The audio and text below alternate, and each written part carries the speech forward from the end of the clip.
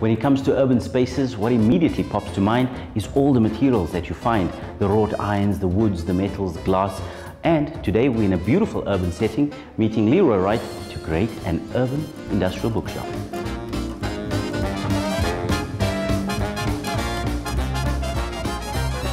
Whoa, Leroy, no wonder you called me. You've got quite a collection. That was like you got a fright. Um, well, you say it's an obsession. It makes me feel like I'm a hoarder or something, but I'm not because it's because it's neat, right? Yeah. Um, but I think being in the entertainment industry, like to be honest, I love film. I've always had a passion for it, mm-hmm. and being in the industry, you obviously get a lot of titles to review, or you know, people just give you free things at events. Um, these are kind of the old titles. The new ones are still hidden away. As to why I need Ryan's help. So why don't we get started? Absolutely. So, so what are we doing? We're going to create an industrial bookshelf for you, made out of typical materials like metal piping, plumbing pipes, you know, the stuff that people never use except for their drains. and we're going to be using a couple of uh, wooden pieces and elements like that just to accent the piece and let it fit in this So pretty much what setting. you're saying is my existing bookshelf is, is not good enough? Out of here. No! so what you'll need for this shelf unit is some galvanized piping, a painter's tray, stain, spray paint, metal connectors, turpentine, a cordless drill, a router, screws, and some shelves. Our first step is to clean some pipes and for that, thank you my young man. So you're giving me the dirty work? Of course, it's for free, so you've got to work for it. And whilst Leroy is doing that, I'm going to prepare the wooden shelves. I'm going to router the edges just to ensure a smooth professional finish.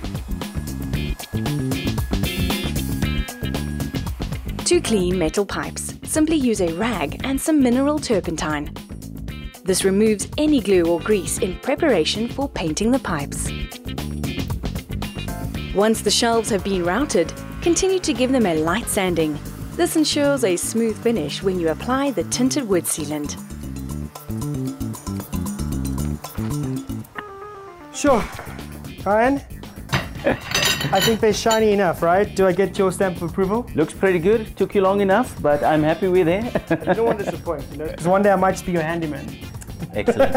I brought these things along because I'm assuming that we're going to be spray painting these because the silver vibe, as nice as it is, it, it, doesn't work for me. True. So in fact, I chose this paint because it's a paint and primer, which is a two-in-one, so it saves you a bit of time, mm -hmm. and it's quick drying, which is pretty awesome. Gives you a beautiful texture and matches with the whole industrial look. Can I tell you what the best part about spray paint is? It's the sound. like another kid. While Leroy is busy spray painting the pipes, I'm going to focus my attention on the shelves. We've already routed and sanded them, so I'm going to apply a water-based tinted sealant. Water-based tinted wood sealant comes in a variety of colors. Be sure to choose a shade that speaks to your personal style and decor scheme.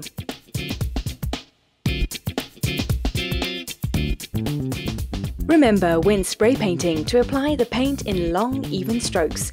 The key is to apply a few light strokes instead of trying to cover everything in one go. Too much paint will lead to paint tears, spoiling the final look. Wow, that looks amazing, huh? Good job. Wasn't too bad. Very Did you enjoy did you enjoy that? I did, I did, I did. I think I could have touched up a bit better, but you know what? It's my first time. No, but I think it's pretty good. So, the next step that we need to move on to is assembly, right? You can see we've got these little uh, brackets. What we're going to do, we're going to take each small piece like this hmm. and put it into there. Then we're going to take another one and we're going to also tape it into the top, right? And then what we're going to do is we're going to find where we're going to locate it on each of the corner and then the second shelf will go on here. Now this is the shorter one, so uh, this will be on top. So we'll put another shelf here and then the rest go below that. Let's start assembling and then we can move on.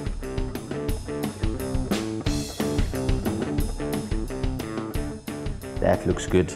So what we want to do is keep each of them consistent and you can see this is pointing to the back of each shelf. So make sure that when you place this one, it points forward as well, just for a consistent look. So I'm just placing it in the corner here and I've got a couple of small screws and I'm literally just going to drive it through.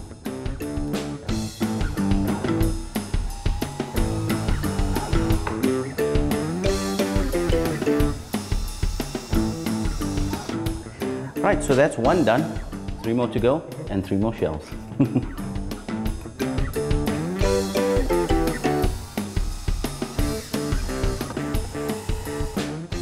It's looking pretty cool so far, right? Yeah, I love it. All we have to do now is get the feet done. And it's so simple. You can see there's a shorter piece in here and two brackets that we have to put on.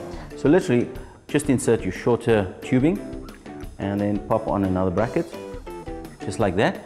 And best part of all, it's adjustable. Cool, let's do it.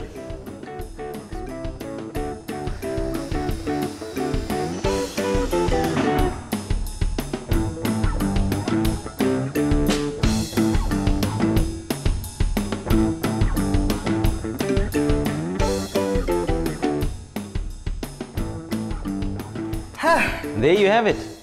I think it looks amazing. What do you think? I think it's great. To be honest, like this is gonna help me so much with storage space. I mean, we've got DVDs in there, but I mean, a shelf is not just for DVDs. It's for everything that makes it look pretty as well. So I think we did a good job. Yeah, go team, yeah? So guys, go out there and be creative. Make your urban space a masterpiece and use different colors, different textures to suit your taste and your deco scheme. Okay, you can go now. I need Cheers. to check out my shelf.